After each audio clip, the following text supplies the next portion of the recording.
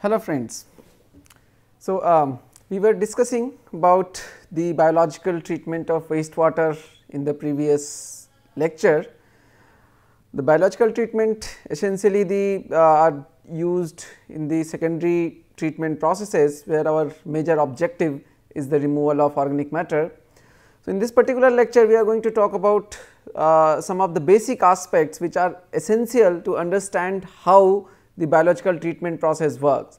So, uh, we will be basically talking about the microbial growth and its kinetics and it is very important to understand this in order to design the biological treatment systems. Eventually, the biological treatment systems are governed by the ability and actions of microorganisms to decompose and degrade the uh, target organic contaminants. So, how they are going to degrade or decompose a specific type of contaminant or a type of particular type of organic matter will depend on certain uh, inherent properties of the microbial species which is involved in that degradation or decomposition process. And essentially uh, it will be basically how many cells are present, at what rate they can uh, degrade or decompose the organic matter, uh, what are the kinetics of substrate utilization or the pollutant degradation, what is the kinetics of biomass growth. So, all these things are very essential in order to understand that how much contact time should be given, what time is enough. So, that will eventually help us in sizing the reactor otherwise how would we know what flow rate is good whether we should keep bacteria in contact with the water for half an hour or 2 hour or 4 hour. So, all those things will eventually govern by the its uh, kinetics of the micro uh, microbial processes. So, that is what we are going to discuss in this particular lecture. To begin with the uh, microbial growth if we see essentially is the process where the uh, micro whatsoever microbial cells are present they utilize the food which is essentially carbon source. So, they utilize the food and the presence of all the essential nutrients and appropriate physiological conditions. So, they have to have a suitable temperature, they have to have a suitable pH range, they have to have a uh, all the essential nutrients. So, when all these things are present, when there are all the essential nutrients are present, the conditions are favorable, the environmental conditions including temperature, pH or other physiological conditions are favorable and there is the source of food and energy is available in the system, then microorganisms utilize that and they grow. So, how they grow? It is not the growth in size as we are a small kid and then slowly, slowly, slowly growing to the adults and uh, that way the microbial growth essentially refers to the uh, multiplication or like the microbes typically multiply. So, uh, how their their cells are multiplying okay. So, how many number of cells are increasing in a unit time. So, it is essentially the number of viable cells instead of uh, the size of the cell or those kind of uh, things. So, when we say the microbial growth we are essentially talking about the the increase in the number of microbial uh, cells. So, this growth requirement may vary from the species to species. Some species will have a particular preference for organic matter, some may not work on that particular type of organic matter some species works in a higher temperature range as we discussed uh, in the last class also that there are species uh, which works thermophilic which works at a higher temperature, mesophilic which works at a moderate temperature, then psychrophilic which works at a lower temperature. Similarly, we have aerobic species, anaerobic species depending on the presence of oxygen or the absence of oxygen. We have autotrophs, chemotrophs. So, what uh, like from where they are getting the energy, what is the source of carbon for them. So, all those things essentially suggest that the different species or different type of microorganisms, different class of microorganisms may essentially have different requirements for the growth. okay, and maintaining the appropriate quantity of microorganisms or rather we can say the viable microbial cells or the active microbial mass is very important is very essential for the biological treatment of wastewater. Why it is essential? Because this treatment is eventually being attained by the action of microorganisms. So, we have to have uh, we have to kind of maintain a good healthy microbial consortia in the reactor in the system so that there are enough number of active uh, microbial cells are present in order to take part in the decomposition or degradation process. Now, if we see as we are discussing the requirements for growth, so the um, there are different type of requirement, there are nutritional requirement. So, uh, one needs a carbon source, microorganisms need a carbon source for metabolism and synthesis of new cell. Now, this will depend on the type of nature um, obviously again depend on type and nature of the microbes what kind of uh, source they are using. So, like uh, whether they are autotrophs or they are heterotrophs. If they are autotrophs or whether they are photoautotrophs using sunlight or chemoautotrophs carbon. So, kind of for energy then uh, whether they are using organic car carbon, organic compounds or uh, CO. So, uh, that kind of like the different composition different things can be made of. So, uh, what are their requirement can actually be derived from that. Then there are requirement of minerals. So, there are certain principal minerals, main minerals one needs uh, of course NPK is required then sulfur is needed, magnesium, calcium, iron, sodium, chlorine.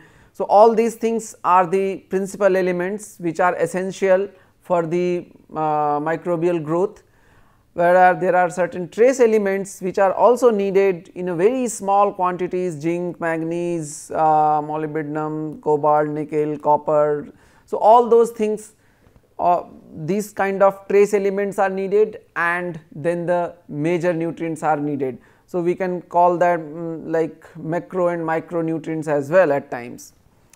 Then uh, there is a carbon, nitrogen and phosphorus ratio is needed. So, there has to be an appropriate CNP ratio. Okay. So, uh, COD essentially is the reflective of total organic carbon. So, that way we can say that COD N and P ratio is essential.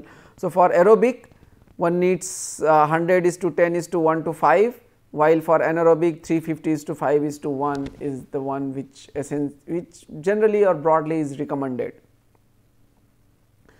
The nutrient requirement is lower for anaerobic processes due to the lower growth rate of microorganisms so, in anaerobic the rate of growth of microorganism is essentially very low as opposed to the aerobic processes. So, that is why the requirement of nutrient is also very low. You can see here it is 100 versus 10 versus uh, 1 to 5 whereas this is 350 is to 5 is to 1. So, obviously the nutrient requirement is lower in the anaerobic uh, processes because of the lower growth rates.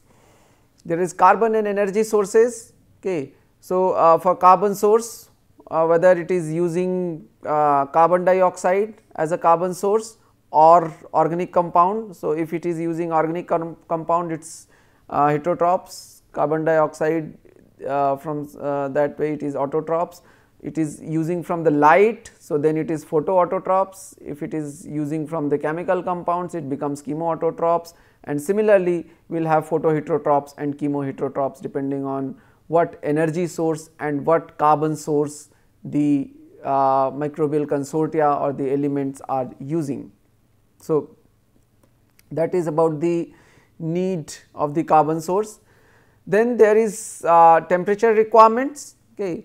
So, temperature controls the rate of biochemical reactions. We have discussed this earlier as well. So, or typical rate of biochemical reactions would be governed by temperature and various other physiological parameters, but temperature is one very important parameter in that. Further, it also sort of controls the integrity of protein structures. At high uh, temperatures, there is disintegration of these protein structures leading to like this protein gets denatured and leading to sort of uh, cells become dead because when the protein or uh, protein or intracellular protein becomes denatured cells cannot survive th that way. So, uh, that way temperature controls and in overall it affects the enzymatic activities because of the uh, controlling the rate of biochemical uh, reactions and controlling the uh, sort of existence or the status of protein structures or various other that way. So, enzyme activities increase typically with increasing temperature.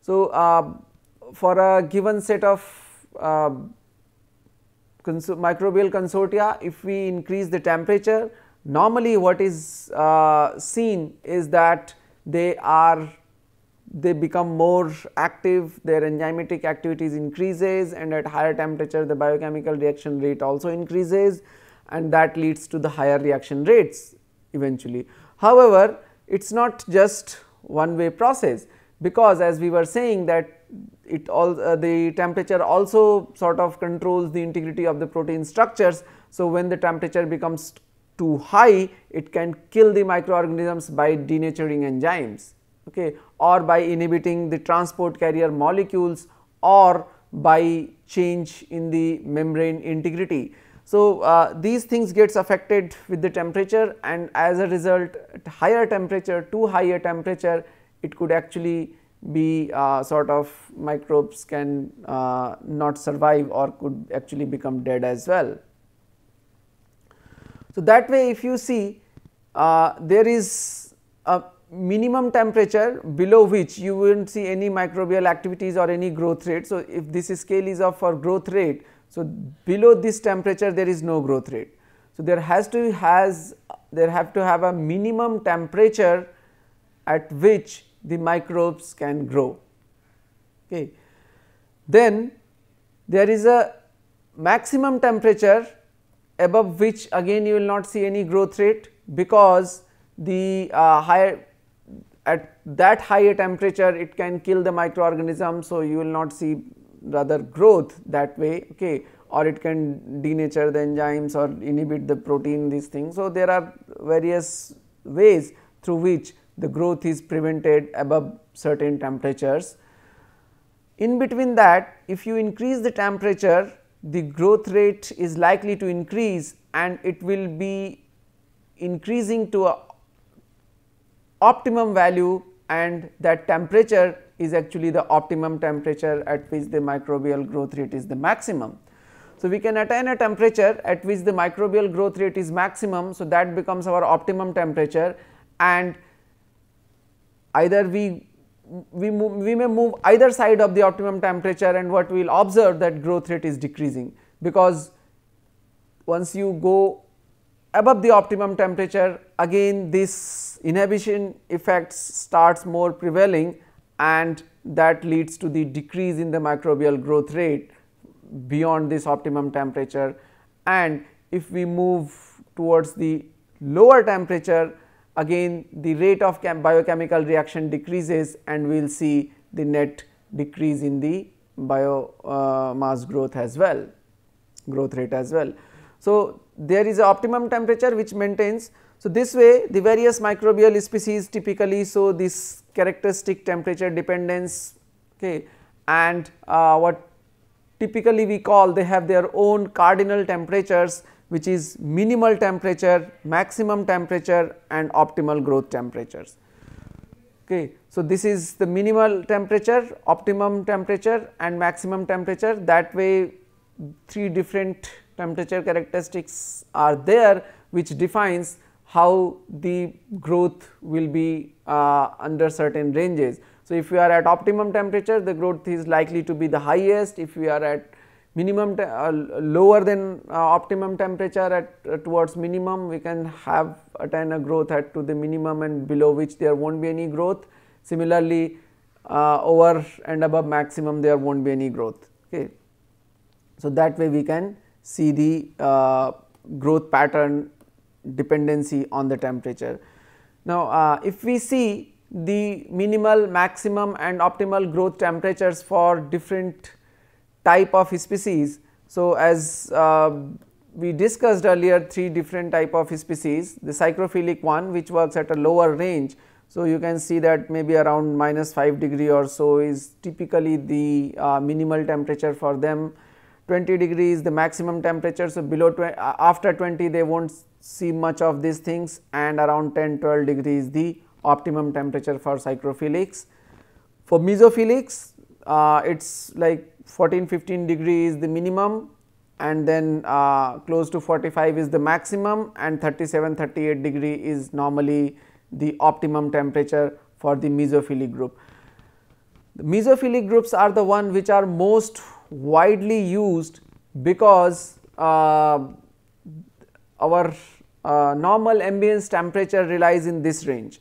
So, we will see that our temperature in the winters goes as, as low as maybe 7, 8 somewhere here, but in most cases or in the water that way it remains above 12, 15 and in winter uh, in summer uh, sorry in winters and in summer it goes as high as 45 or that ranges. So, we get a large range for the large part of the year we get a temperature suitable to this mesophilic range and that is why in the um, in the wastewater treatment processes or those kind of systems we normally use mesophilic group of the microorganisms okay, because their temperature range is what uh, is suitable for us. If we go for other type of microorganisms let us say if we go for thermophilics which have a optimum temperature somewhere close to 66 67 degrees Celsius.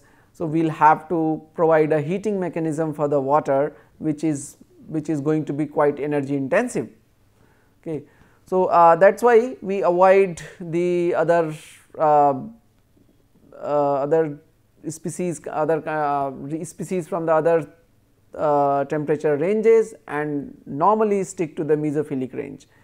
In the thermophilic though you can see that uh, there are minimum minimal temperature is around uh, 42 43 maximum is 80 and optimum somewhere as we were saying that uh, 65 to 70 and then there are a hypothermophilic range hyperthermophilic range which works at a even higher temperature where it can sustain close to the uh, 95 or 100 degree for optimum and uh, maximum it can sustain at, at around 100 708 degrees.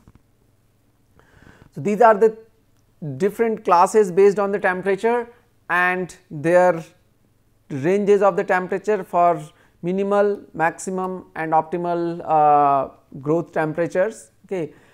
And uh, mesophilic are the ones which are typically used and that is why we get the ideal performances or best performances when our temperature is approaching 35, 37 degrees Celsius because that is what is the optimal temperature for majority of these species falling under the mesophilic category or mesophilic range.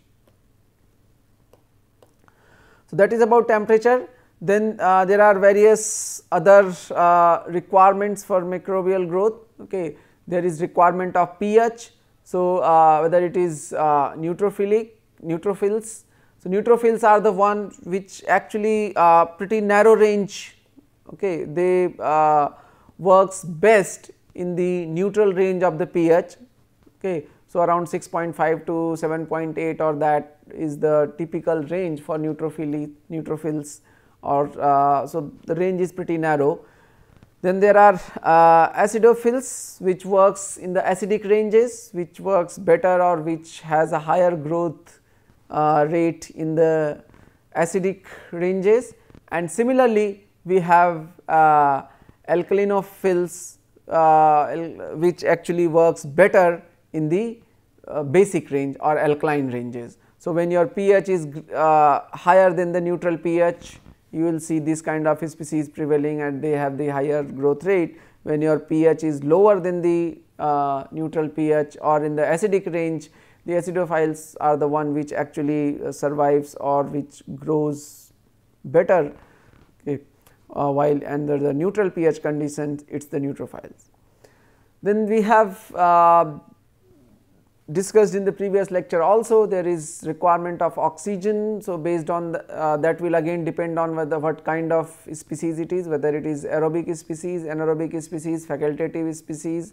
So, for aerobic the uh, oxygen is the electron acceptor. So, it is very essential uh, for the aerobic systems to have oxygen or particularly the dissolved oxygen kind of things present because that is what will uh, act as an electron acceptor and eventually uh, kind of um, in the process of degradation of uh, or in the process of oxidation of the organic matter that is what will be needed. So, in the aerobic we need oxygen sufficient amount of dissolved oxygen should, should be present. Uh, oxygen being a nutrient it is not that the level of oxygen will only govern the rate of reaction, but there has to be adequate amount of oxygen present in the system.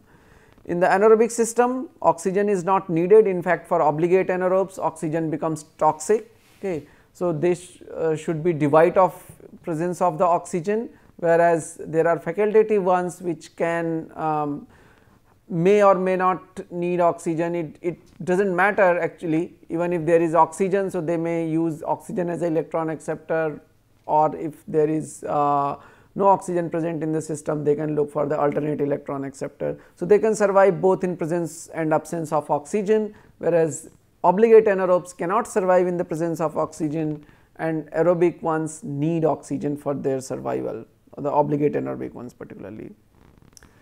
Then there are uh, certain other requirements like what is the osmotic pressure depending on the kind of species, hydrostatic pressure. So, how much hyd hydrostatic pressure uh, one can live. So, there are uh, species which relies in the deep sea can sustain very can sustain like significant hydrostatic pressure, but most of the microbial species uh, actually in the upper layer of water if you put them deep down they probably they are not there is deficiency might be deficiency of oxygen might be inability to sustain the hydrostatic pressure or those kind of thing might lead to the uh, uh, sort of decay of those species and the growth will be affected they probably cannot proliferate and cannot survive at the uh, such hydrostatic pressures.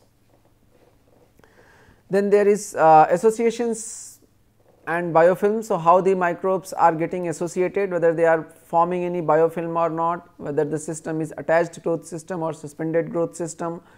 So, this attached growth system versus suspended growth system again is a uh, will depend on the type of species and uh, it is not like certain species can grow in only suspended growth system. The, most of the species can grow either in a suspended growth system or attached growth system uh, or in both in fact. So, uh, that chances are there. What essentially the attached growth system and suspended growth system means is that in a suspended growth system we have let us say water the microbes are suspended in the water. So, they do not actually uh, they are not attached to any particular medium. So, if you are having let us say glass of water and the microbes growth, so there might be some growth onto the surface of the glass which is kind of attached system because they are attached to the surface of the glass, but in the water medium also there would be lot of microorganisms present.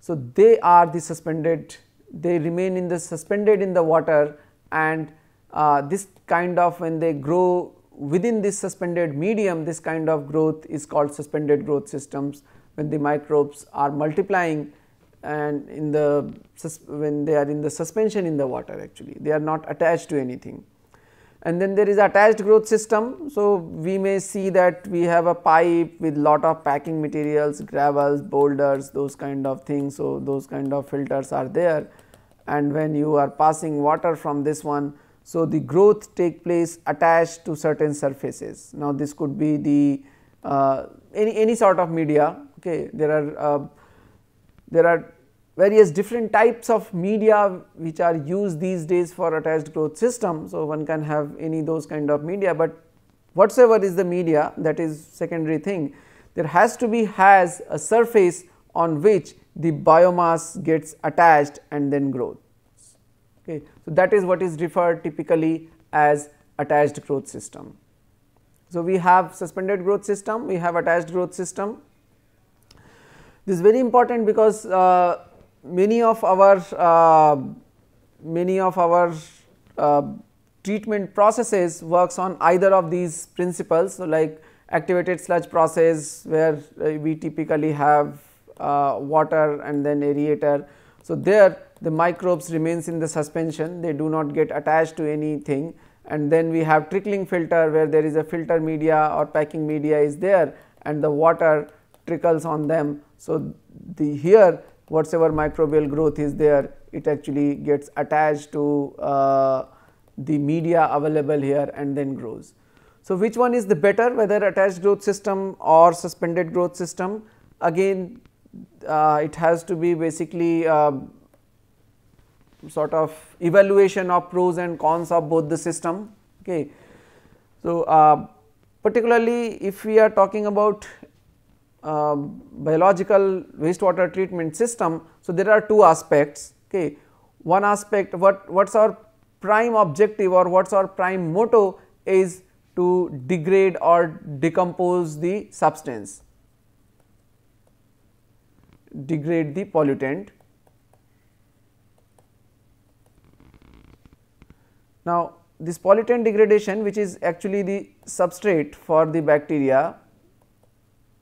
So, our motto is to degrade the substrate and whatsoever is the rate of substrate degradation, howsoever high rate of substrate degradation it is better for the contaminant removal. So, we want a high rate of substrate removal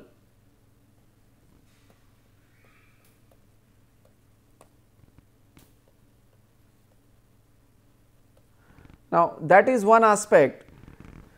So, we need high rate of substrate removal and the second aspect is that since this removal or this degradation is being done by the microorganism. So, we need significant quantity of microorganisms as well. So, that means we need high growth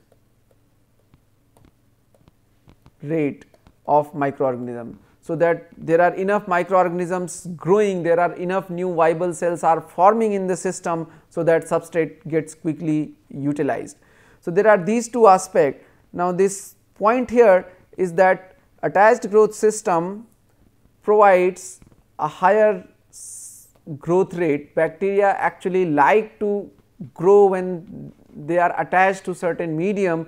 So, attached growth system typically has higher growth rate but the substrate utilization or the rate at which the substrate is removed in attached growth system is slower. As opposed to the suspended growth system the net growth in the suspended growth system is smaller. That is primarily for two reasons. One is uh, in attached growth system when the microbes are attached to let us say certain medium so when the flow takes place you will not see that microbes too much of uh, bacteria getting washed out from the system. Okay. So, because bacteria or microorganisms are attached to a medium and they remain attached with that medium. So, this washout thing is prevented and what you get out of from uh, out of this system is predominantly water and most of the biomass retains in the system. But in case of suspended growth system when things are in the suspension and then when you take this water out of reactor when water flows since microorganisms are in the suspension. So, they also flows along with the water. So, there is lot of biomass washout, there is lot of biomass wastage, biomass going in the effluent from the suspended growth system and that is why the amount of biomass here is less. Whereas amount of biomass here is more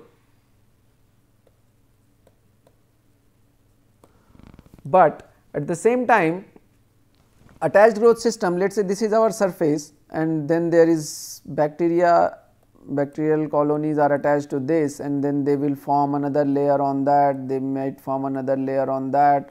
So, kind of the biofilm formation that takes place here the biofilm formation typically takes place in attached growth system not too much in the suspended growth system.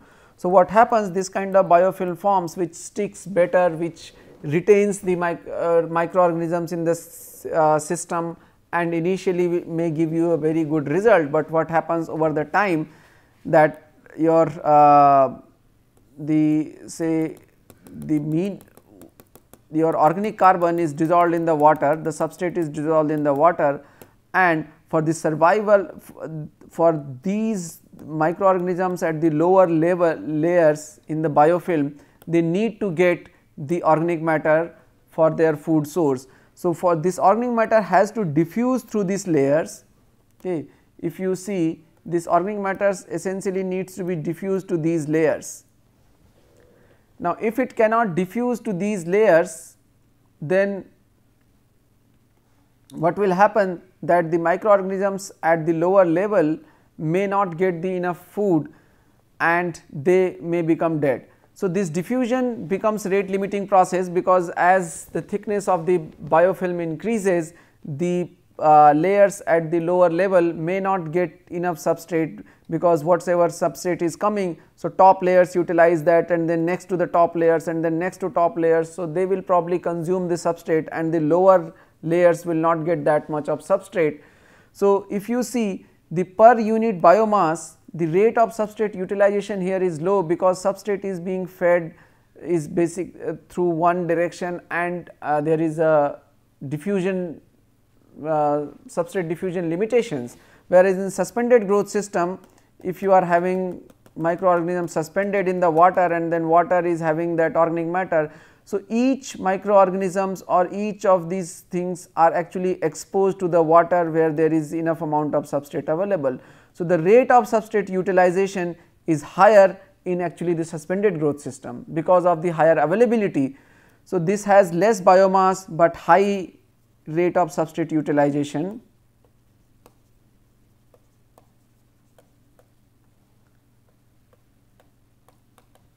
whereas this has more biomass, but lesser rate of substrate utilization.